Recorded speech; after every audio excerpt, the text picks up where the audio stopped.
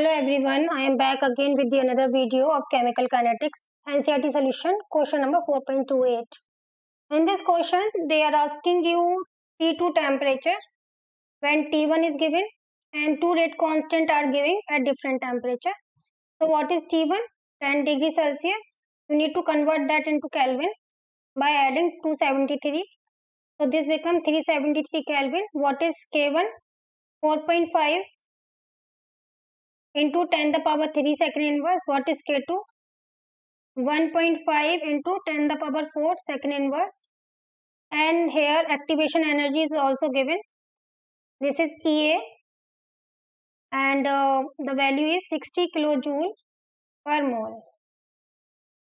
So according to the data which is given in the question, we need to use a formula log K2 divided by K1 equals to activation energy divided by 2.303 gas constant 1 upon T1 minus 1 upon T2. We also can write this formula in this way. Activation energy. And we are also able to derive this formula. If you are not able to learn so many formulas you can derive this with the Arrhenius equation too. I'll let you know how to derive it after this solution so I'm going to put the values given values in this formula the value of K2 is uh, that value of K2 is 1.5 multiplied by 10 the power 4 divided by the value of K1 is 4.5 into 10 the power 3. The value of activation energy is that is 60 kilojoule. So we need to be convert this into joule per mole by multiplying with the 1000. So it's become 60,000, right? And the value of this gas constant R is 8.314. Just learn this value. So it will easy for you. T2 is unknown. T1 is 373. T1 is 373. T2 is unknown. We need to find out the T2. Okay, by dividing this whole term, we will get 3.33.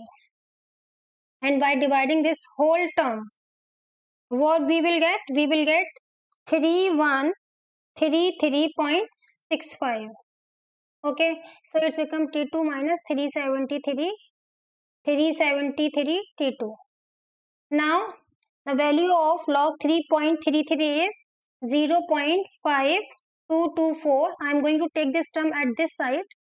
So this become 3133.65 equals to T2 minus 373 divided by 373 T2.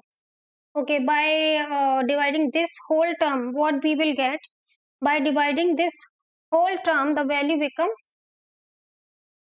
0 0.000166 the calculation is little tricky here so you need sharp calculation for this 373 t2 now i have a little page problem so i'm going to erase this portion so we will get the space to do the rest of the question so let me do it okay so I'm going to do it now. The rest of the portion here. So look at here guys what we will do. We'll do cross multiplication of this here. So after uh, doing this 0 0.000166 multiplied by 373 T2 equal to T2 minus 283. What we will get after multiplying this whole term this and this. So we will get 0.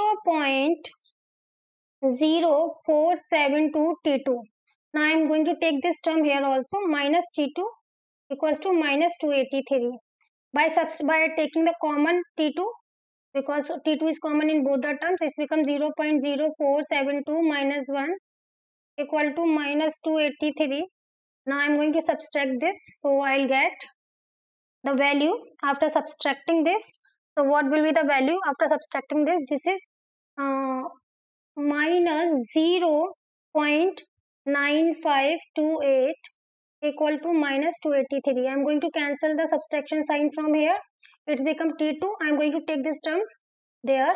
283 divided by 0 0.9528 So I'll get the value of T2 from here that is 297 Kelvin.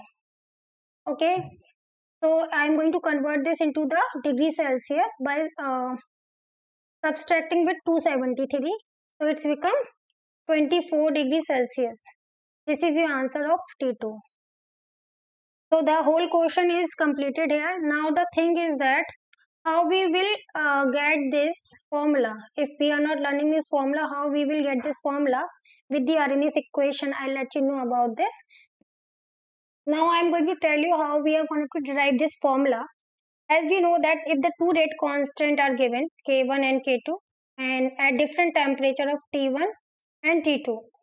We know this equation already ln K equals to minus EA RT plus ln A. This is the Arrhenius equation if you know. So I am going to take the L, uh, ln K as K1 minus EA R temperature as T1 plus ln A. This is going to be equation number 1. Then another equation the similar way minus EA R T2. If you know the Arrhenius equation, you can derive this equation very easily. Now what I need to do? On subtracting equation 1 and 2, on subtracting equation 1 and 2, what we will get?